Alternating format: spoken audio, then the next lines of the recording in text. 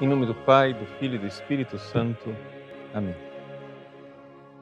Inspirai ao Senhor as nossas ações e ajudai-nos a realizá-las, para que em vós comece e para vós termine tudo aquilo que fizermos. Por Cristo, Senhor nosso. Amém. Santa Maria, Mãe de Deus, rogai por nós. Em nome do Pai, do Filho e do Espírito Santo. Amém. Olá, uma alegria estarmos juntos mais uma vez no nosso nossa transmissão ao vivo, nossa transmissão semanal. E hoje eu gostaria de tratar de um assunto polêmico, mas ao mesmo tempo com uma mensagem muito bela para esse tempo do Natal, que é a milagrosa, milagrosa translação da casa de Nazaré, a Santa Casa de Loreto, ou seja, a casa onde Jesus é, cresceu com Maria e José, que foi milagrosamente transportada, segundo a tradição, em 1291, de lá de Nazaré, pelos anjos, e terminou, depois de uma série de escalas, por assim dizer, em Loreto, na noite de 9 para 10 de dezembro de 1296, uma casa apareceu. Né? É, sem que tivesse, se tivesse notícia, a casa onde Jesus cresceu veio lá da Terra Santa para Loreto, na Itália. O assunto é polêmico, né? mas este é o milagre que é celebrado tradicionalmente no dia de hoje. Porém, uma coisa, eu gostaria de já dizer desde o início que nós precisamos distinguir três realidades no nosso programa. A primeira, o mistério da fé, que é a finalidade do programa, ou seja, nós estamos aqui no tempo do Advento preparando o Natal do Senhor e eu quero aqui tirar consequências é, importantíssimas a respeito do mistério da encarnação, de Deus que se fez homem. E isto é de fé, todos têm que aceitar. Essa parte do programa ela é indiscutível, ela é fé da igreja. Mas existem duas outras partes do programa. Uma que é científica e não tem muita controvérsia, que é o fato de que aquelas três paredes que estão lá em Loreto têm sua origem em Nazaré, lá na terra de Jesus, que, portanto, são as três paredes que, ao longo dos séculos, eram veneradas como a casa de Nossa Senhora. Pois bem, essa é uma questão que a gente pode aceitar pela luz natural da razão, porque é, assim os cientistas, de uma forma geral, estão de acordo com relação a isso daqui. E o terceiro ponto do nosso programa de hoje é o fato de que esta casa tenha terminado lá em Loreto por um milagre. Ou seja, milagrosamente ela tenha ido parar lá em Loreto com assistência dos anjos, claro, mas por um milagre que fundamentalmente é divino. A realidade, a verdade deste milagre, isso daí, gente, é fé privada. Ou seja, cada um crê se quiser. Se você não é, ficar convencido pelos argumentos que eu irei apresentar, tranquilo, nenhum católico é obrigado a crer nesse milagre. Ok? Então são três níveis bem diferentes. O primeiro, a verdade sobrenatural da fé, Deus se encarnou. Isso ninguém é, pode questionar desde que tenha fé católica. Segundo, uma verdade pela luz natural da razão, que é o fato de que a arqueologia nos diz que aquelas paredes vêm de lá, de Nazaré. E o terceiro, como foram parar essas paredes lá? Qual a explicação?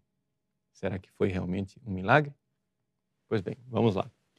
Vamos, então, é, começar do fato é, arqueológico que comprova que aquelas paredes realmente têm proveniência em Nazaré. É a coisa menos polêmica né, é, de tudo. É o fato seguinte: vejam, foram feitos estudos científicos já é, durante muitos séculos, mas também mais recentemente com a ciência né, moderna, no século XX, onde se comprovou que aqueles as pedras e os tijolos que compõem a casa de Loreto, ou seja, são três paredes, têm a sua origem lá em Nazaré, né, na cidade onde Jesus cresceu. Como era a casa de Nazaré? A casa de Nazaré, como ela era venerada pelos cristãos, né, já é, há muitíssimos séculos, ela era feita da seguinte maneira: tinha uma gruta e essa gruta era fechada por três paredes. Portanto, a casa de Nossa Senhora, ela é composta somente de três paredes, porque a quarta parede é uma gruta. E essa gruta ela servia um pouco de é, depósito, etc. Esta casa de Nazaré, na, na parte, numa das paredes mais compridas, tinha uma porta. Né? E também uma janela. Foi neste ambiente que, supostamente, é, Nossa Senhora recebeu o anúncio do anjo. Ou seja, o Evangelho de São Lucas nos narra que o anjo Gabriel foi enviado à cidade de Nazaré a uma virgem desposada com José, que era descendente de Davi, e o nome da virgem era Maria. Portanto, Maria estava em Nazaré quando recebeu o anúncio do anjo. Mas onde morava Maria? Ela não morava com José. Nós sabemos disso, porque foi antes de coabitarem. Ela morava numa casa que tinha pertencido a São Joaquim e Santana, né, segundo a tradição, e que era a casa é, dela, de Nossa Senhora. Foi nesta casa que se deu o mistério mais extraordinário né, de nossa salvação. Ali, Deus se fez homem. Neste ambiente ou seja, destas três paredes com a gruta, nós podemos não somente dizer que o Verbo se fez carne, verbum caro factum est. Nós podemos dizer que ic verbum caro factum est. Aqui. E por que, que o aqui é tão importante? Porque Deus se fez carne nesse mundo e é um acontecimento histórico, localizável historicamente e geograficamente. É? O próprio São Lucas se preocupou em dizer o momento histórico em, todas, em que todas essas coisas aconteceram, quando ele, não sei se você se lembra do evangelho de ontem, domingo passado, né, em que ele descreve que São João Batista começou a pregar no 15º ano do imperador Tibério. Né? E que, portanto, ali nós estamos numa data histórica. Este ano dá para localizá-lo na história do planeta.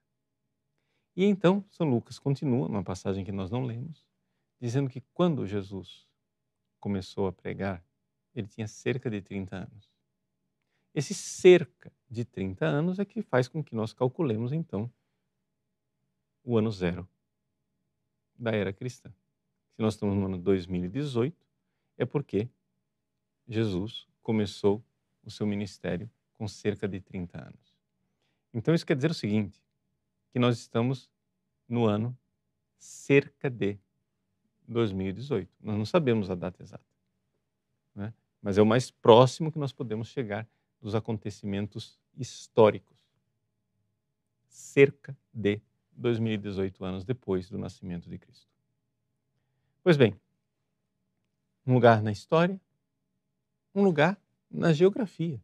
Aconteceu de fato, não é uma mitologia, né, onde você, eh, sei lá, até hoje fica procurando onde é que está a morada dos deuses em cima do Monte Olimpo. Né? Não existe. É algo que de fato aconteceu historicamente. Então, fui lá em Nazaré. Que tenha sido nessas paredes ou não tenha sido dentro dessas paredes, isso é indiferente.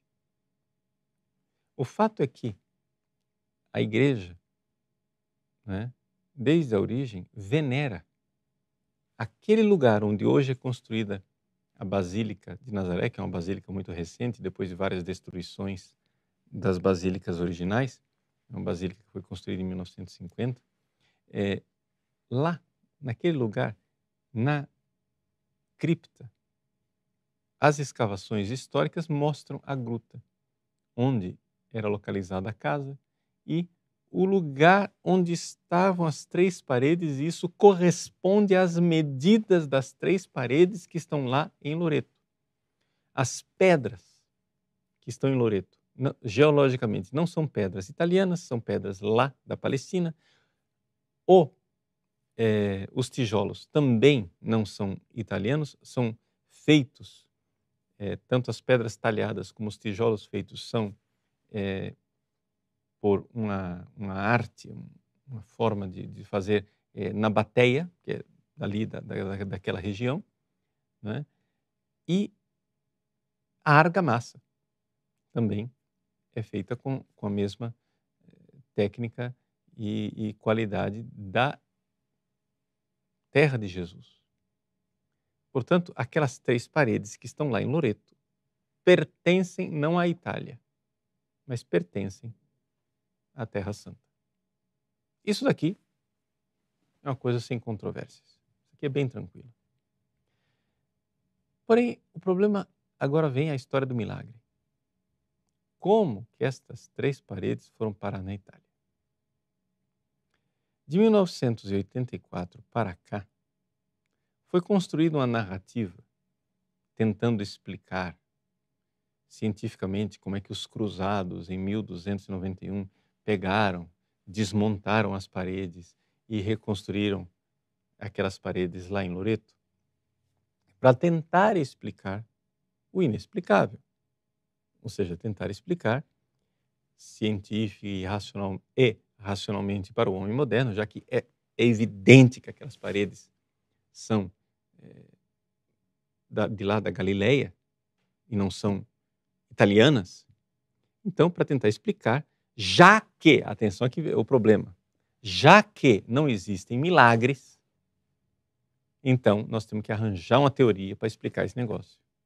Então foi explicada toda uma, uma teoria para dizer como é que uma família chamada família Angeli trouxe estas paredes para Loreto. Então, teriam sido os cruzados que, através da, da, da família Angeli, trouxeram não é, essas paredes para cá. Como é que se sabe dessa história dessa família Angeli? Ah, bom, existe um documento tardio, é verdade, que fala dessa história é, de que foi trazido pela família Angeli. Sobretudo, documentos que teriam sido vistos pelo bispo de Dijon é, ou, perdão, ter sido relatados pelo bispo de Dijon de um pesquisador que viu esses documentos no arquivo secreto do Vaticano. Problema, até hoje ninguém sabe onde estão esses documentos. Então a gente tem uma conversa de que tinham os documentos lá. Essa conversa de que tinham documentos que falavam da família Angeli, depois foram corroboradas pelo, é, porque foi encontrado um documento chamado Cartularium Culissamense, que na folha 181 tem lá a lista de presentes de casamento, de um casamento de uma senhora chamada Itamar com Felipe de Anjou.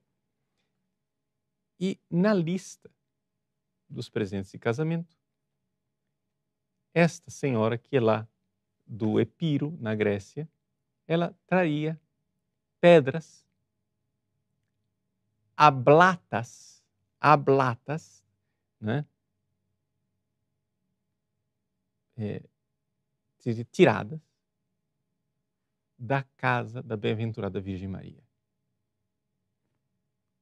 Mas notem bem, lá está escrito pedras, Não está escrito casa. Mas isso seria então a prova cabal, já que esta senhora Itamar, ela tem uma prima que é de uma família chamada Angeli, então pronto está aqui né, a prova cabal de que a família Angeli trouxe né, do Oriente Médio aquela casa, a casa de Loreto, e mandou colocá-la lá em Loreto. Essa seria a teoria que explica então. Por quê? Porque afinal, acreditar que anjo carrega a parede é um pouquinho demais. Pronto. E está explicado. Podemos dormir tranquilo porque nossas certezas científicas modernas não foram abaladas. Oh, que alívio. Só acontece o seguinte: essa explicação é o tipo da explicação que não explica nada, porque ela deixa mais interrogações do que explicar. Por quê? Primeira coisa.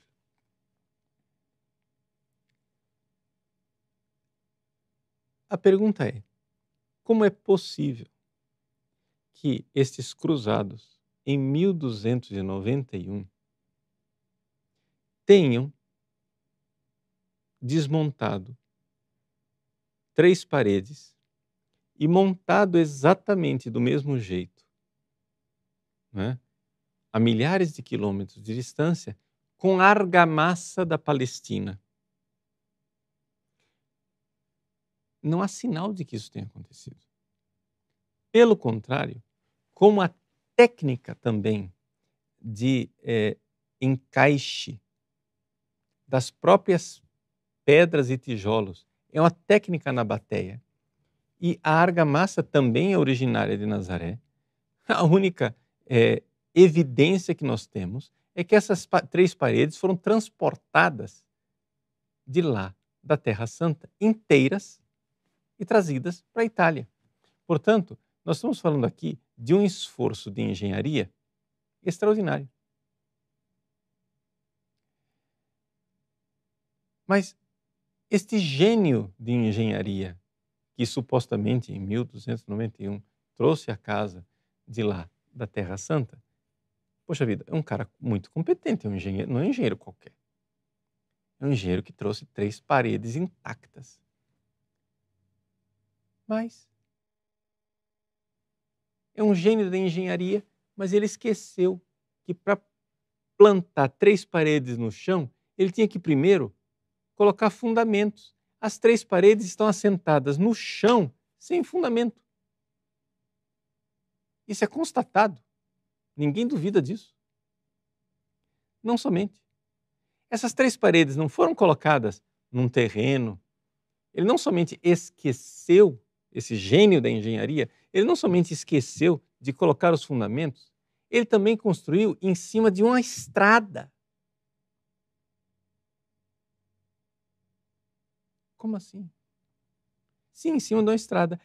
E parte né, é, da parede eh, central que une as outras duas foi colocada numa vala.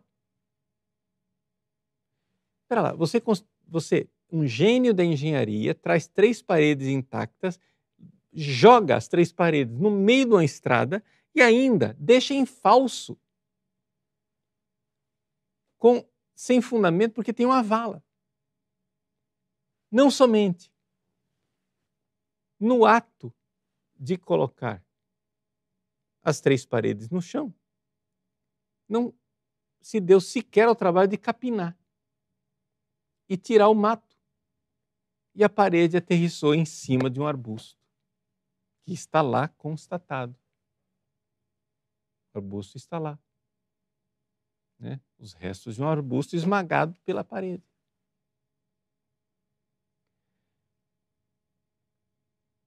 Bom, esse gênio da engenharia tá, me parecendo razoavelmente idiota. Aí você vai dizer assim, mas pá, também os anjos, então, o senhor, ou o senhor chama um engenheiro de, de idiota, ou você chama os anjos de idiotas. Eu digo, não. No caso aqui, eu chamo você de idiota, porque o problema é que o milagre, exatamente para ser milagroso, ele deixa sinais de sua miraculosidade. Porque é exatamente uma das, uma das coisas né, mais claras de um milagre. É exatamente isso, é que Deus deixa sempre ali né, alguma coisa que nos deixa perplexos.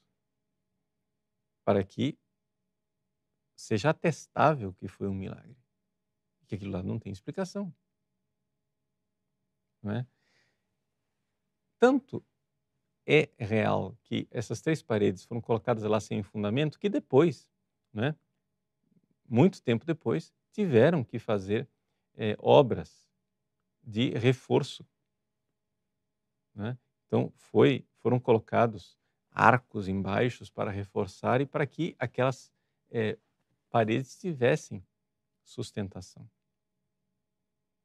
Foram também feitas mudanças, ou seja, a única porta que havia, ela seja, criaram duas portas laterais para que os peregrinos pudessem entrar e sair, ficava mais cômodo, e então aquelas portas com os tijolos foi, daquelas portas laterais foi então é, tampada a porta originária.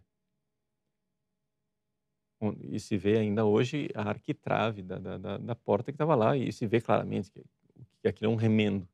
Né? Foi, foram colocadas ali as pedras para fechar a, a porta originária. Então, todas essas coisas estão muito claras. Você, além do mais, tem nas pedras e nos tijolos sinais é, escritos, grafites, né, escritos, que falam de Jesus, Filho de Deus, em grego, com letras hebraicas, etc, etc. O que tudo, tudo isso indica exatamente a antiga veneração dessa casa, já originariamente em Nazaré. Então, aqui, cada um pode crer no que quiser. O que acontece, porém, é que eu acho que nós precisamos avaliar bem as coisas antes de descartar a questão do milagre. Eu, pessoalmente, ninguém é obrigado a concordar comigo, creio na realidade desses milagres. Se você quiser mais detalhes a respeito dessa disputa, dessa controvérsia a respeito do milagre é, de Loreto, você pode ver um, o documentário do History Channel, que inclusive está dublado em português para facilitar no YouTube, dividido em, em várias partes, não é? A respeito, eles até o, o documentário do History Channel é bastante honesto, coloca os dois lados da controvérsia. É, miseravelmente, quem defende o lado de que não é um milagre é um frade capuchinho, até bastante benemérito, porque é, é um dos grandes estudiosos de Loreto, né, o Frei Giuseppe Santarelli. Mas é importante nós ouvirmos os argumentos né, do grande defensor do milagre de Loreto, que é o professor Giorgio Nicolini. Né? O professor Giorgio Nicolini ele mostra com toda clareza é, que o argumento não quadra, ou seja, o negócio não fecha. Não fecha e fica mais, ficam mais pontas soltas do que é, realmente explicações. Então, aí fica o mistério para que você possa estudar, para que você possa ver. Vejam, uma coisa é certa. Aquelas paredes vêm de Nazaré. Como elas vieram, tá bom, aí é a questão do milagre. A igreja tradicionalmente e sempre acreditou nesse milagre. E aqui eu posso dizer sim em nome da igreja. A igreja acreditou nesse milagre porque existem inúmeros, inúmeros papas, inclusive o papa da época do milagre, que atesta a realidade da Santa Casa de Loreto, ou seja, a Casa de Nazaré, que foi trazida né, para é, Loreto. E também místicas, né?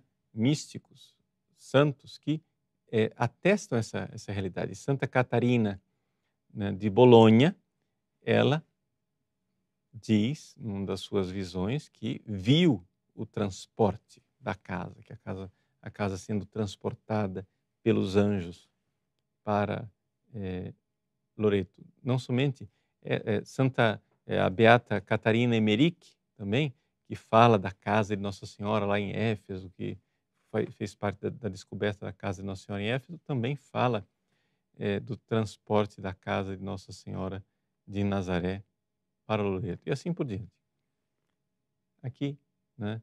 ou seja, a racionalidade, a autoridade dos papas, que no caso aqui não é infalível e nem é magisterial no sentido é, específico da palavra, e as visões dos santos e dos, dos místicos corroboram a realidade do milagre.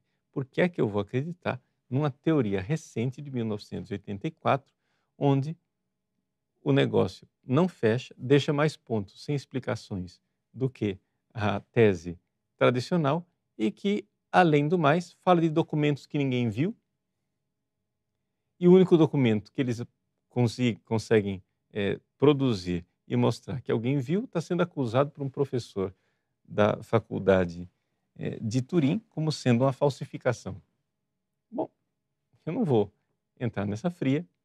Como eu sei que milagres existem, isso é certeza católica, o que eu não tenho certeza católica é que isto, este milagre tenha acontecido, eu continuo com a tese do milagre e prefiro acreditar e venerar né, a ação de Deus milagrosa que não somente transporta paredes, ele transporta montanhas.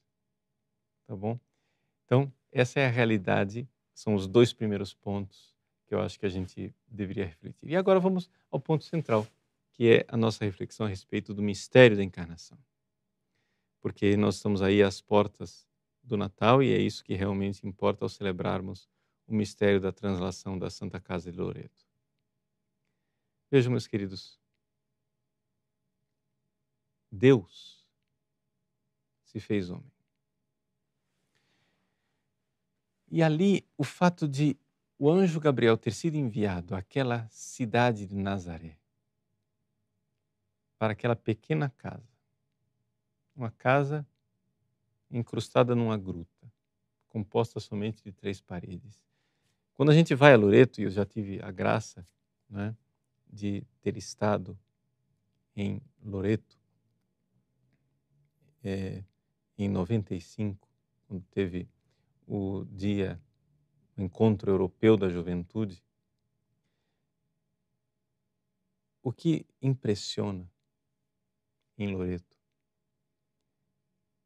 é a humildade daquelas paredes. Ou seja, impressiona você ir lá, entrar na pequena casa,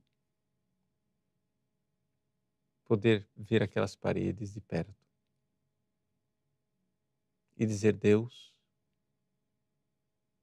se fez homem na humildade dessas paredes. Aquelas pedras viram Jesus crescer. Depois que Maria milagrosamente concebeu Jesus no mistério da encarnação, ela, é claro, foi com São José para Belém. Ali Jesus nasceu em Belém, depois os, a, Sagrada Família teve que fugir para o Egito e do Egito então voltaram, como narra o evangelista São Mateus, para Nazaré. E em Nazaré Jesus cresceu e ali ele morou cerca de 30 anos. 30 anos morando numa casa. Humilde, composta de três paredes, em que não havia, evidentemente, vou dizer obviedades, mas a gente não para para pensar, luz elétrica, não havia água encanada, não havia um serviço de esgotos, não havia fogão a gás, não havia colchão ortopédico, travesseiro antialérgico.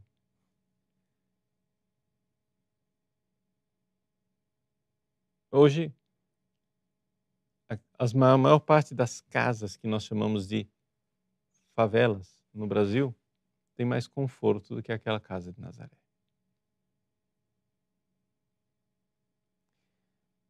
Então, aqui nos vem o grande mistério. O grande mistério da pobreza de, de Deus, que é a nossa riqueza. De rico que era, ele se fez pobre.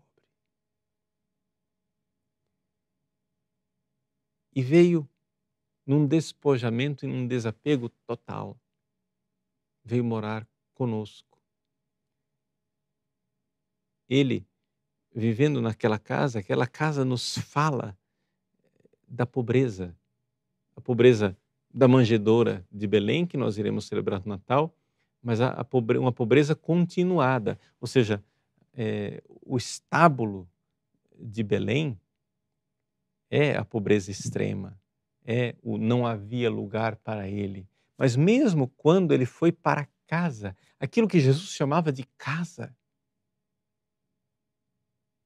faz com que a casa onde nós moramos seja um palácio real.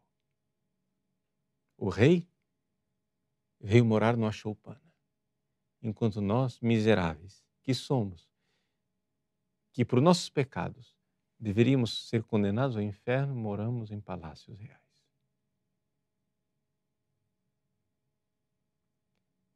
Não é impressionante o que ele fez por nós? Não é impressionante o que ele fez? Não é impressionante que os dois seres humanos os três seres humanos mais santos. Claro que com uma distância enorme entre os três, né? Jesus,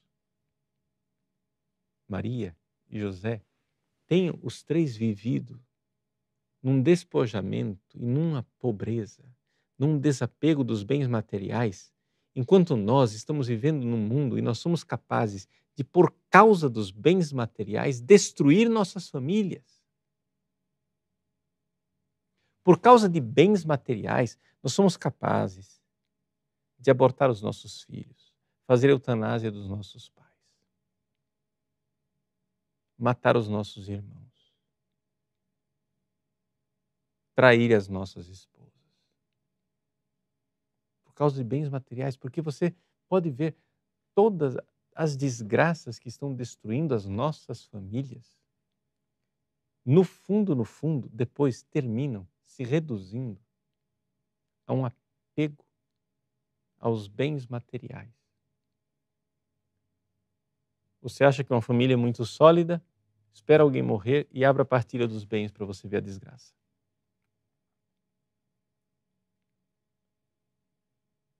Você acha que você tem um coração de pai, um coração de mãe? Né? Espera uma gravidez. Não, eu não posso ter mais um filho, aí é vasectomia, aí é ligadura de trompas, aí tem que fazer alguma coisa, é pílula do dia seguinte, é camisinha, é coito interrompido, etc, etc, porque no fundo, no fundo, o problema final, o argumento final é o problema financeiro, onde o dinheiro é mais importante que os nossos filhos. E Deus se fez pobre. E nós não somos capazes de pagar o preço de um dia ver os nossos filhos no céu. Porque se os nossos filhos um dia vão para o céu, é porque, é porque primeiro eles precisam nascer.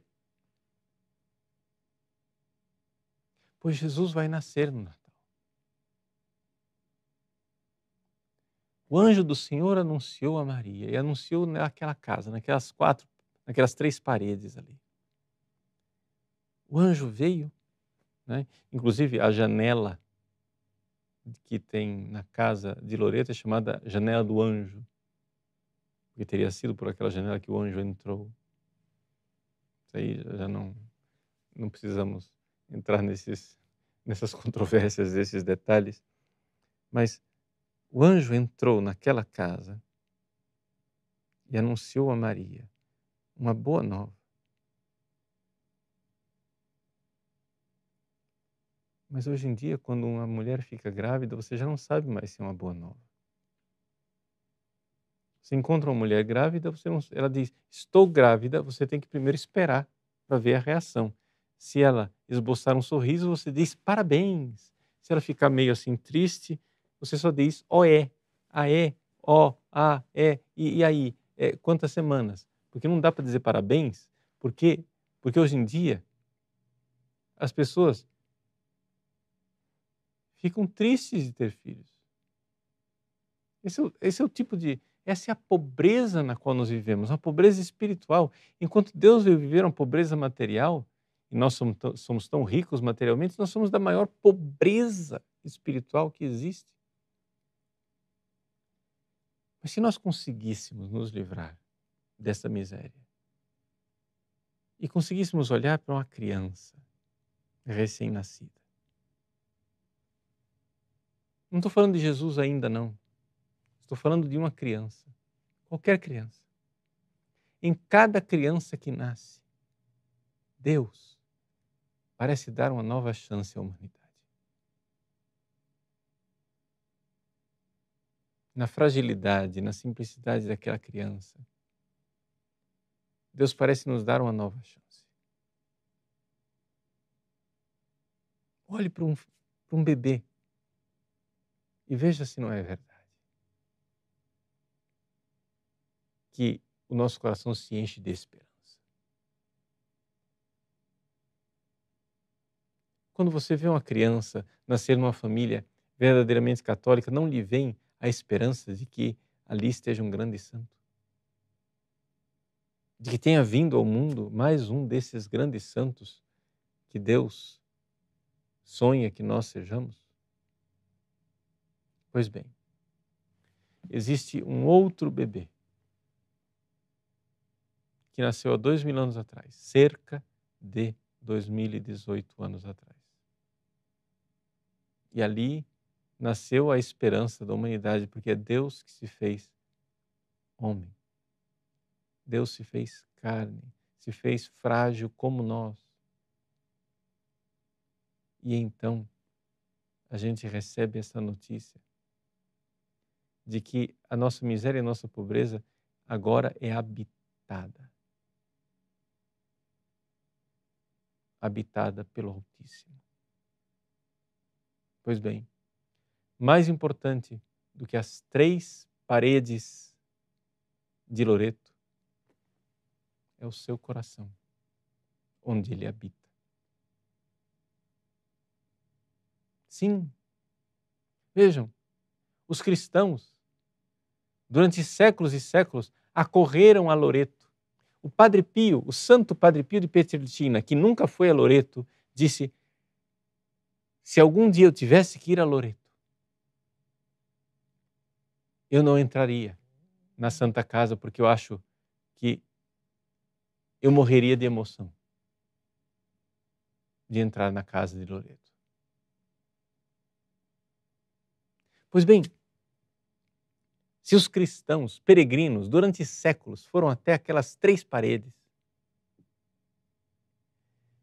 porque ali o Verbo se fez carne, Deus veio habitar. O que dizer então?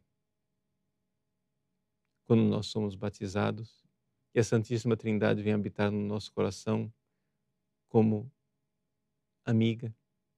O que dizer quando nós nos aproximamos da mesa da comunhão e recebemos o Verbo que se fez carne, escondido debaixo da aparência de pão. E então nós nos transformamos numa relíquia mais preciosa do que a casa de Loreto. Enquanto cristãos do mundo inteiro vão até Loreto, fazem fila para entrar naquela casa, tocam as suas paredes, se ajoelham, né, pedindo a Deus graças, e Deus fez tantas graças e tantos milagres por cristãos que, na sua fé, tocaram naquelas paredes, o que não dizer quando Deus, Deus, o próprio Deus, faz de nosso coração as paredes nas quais Ele quer morar? Então, será Natal. Vai ser Natal todas as vezes que nós abrirmos o nosso coração. O anjo em Nazaré supostamente entrou por uma janela. Então, não precisa nem de porta. Abra uma brecha, uma janela que seja, por pequenina que seja no seu coração, para que Deus entre através do seu mensageiro e do seu anjo, para que a notícia de Deus, a palavra de Deus, chegue até o seu coração, para que então o Cristo seja gerado em você, como foi gerado no coração da Virgem Santíssima. Claro que Deus, na Virgem Santíssima, preparou uma digna morada para o seu filho. Mas também o advento é isso. Nós precisamos fazer com que nosso coração seja uma morada menos indigna do Filho de Deus. Então vamos, vamos preparar o Natal. Se você ainda não procurou um sacerdote para se confessar, se confesse e faça o propósito. Não sejam uma das tantas confissões da sua vida em que você se confessa já prevendo que vai cair logo em seguida. Que seja a confissão derradeira. Vá para o confessionário como se fosse a última confissão da sua vida. Porque se você tiver a eternidade diante dos olhos, se você tivesse a notícia de que você iria morrer nessa noite, você certamente, diante do sacerdote, diria com espírito e verdade: prometo, com a vossa graça, nunca, nunca, nunca mais pecar. Meu Jesus, misericórdia. A Santa Casa de Loreto nos mostra como Deus faz milagres para preservar o lugar onde ele habitou. Mas se Deus enviou anjos para preservar três paredes, que milícia celeste ele não irá enviar para preservar a integridade do seu coração? Que exército do céu ele não enviará numa batalha verdadeira para preservar não paredes que, sendo desse mundo, irão passar, mas para preservar aquilo que não vai passar nós somos eternos. Nós nascemos e nunca mais deixaremos de existir. Você já parou para pensar nisso? Nós nunca mais deixaremos de existir. Quer no céu, quer no inferno, Deus nos livre. Mas nós nunca mais deixaremos de existir. Nós somos eternos o que não faz Deus para preservar as criaturas que Ele fez eternas. Pedras passam, tijolos se desmancham, paredes se arruinam. Mas nós não iremos passar. E Deus quer fazer morada no seu coração. Vamos lá. Vamos preparar esse Natal. Vale a pena. Ele está conosco. Então, Deus abençoe você. Que Nossa Senhora de Loreto, sim, ela, que é Nossa Senhora de Nazaré, que Nossa Senhora de todos os títulos, interceda por você. Nossa Senhora quer ser chamada por todos os títulos e é por isso que exatamente de Loreto veio aquela ladainha que nós costumamos recitar de Nossa Senhora. A ladainha de Nossa Senhora é chamada ladainha lauretana. Lauretana é quem nasce em Loreto, lauretano. A ladainha lauretana coloca todos os títulos de Nossa Senhora invocando-a com todos os títulos, ela nos ajude a chegarmos no céu, na casa definitiva. Porque mais do que na casa de Loreto, é nós chegarmos um dia e vermos a glória de Maria, de José, que é reflexo da glória de Jesus. Que a Sagrada Família nos conduza até a celebração do Natal. Deus abençoe você. Em nome do Pai, e do Filho e do Espírito Santo.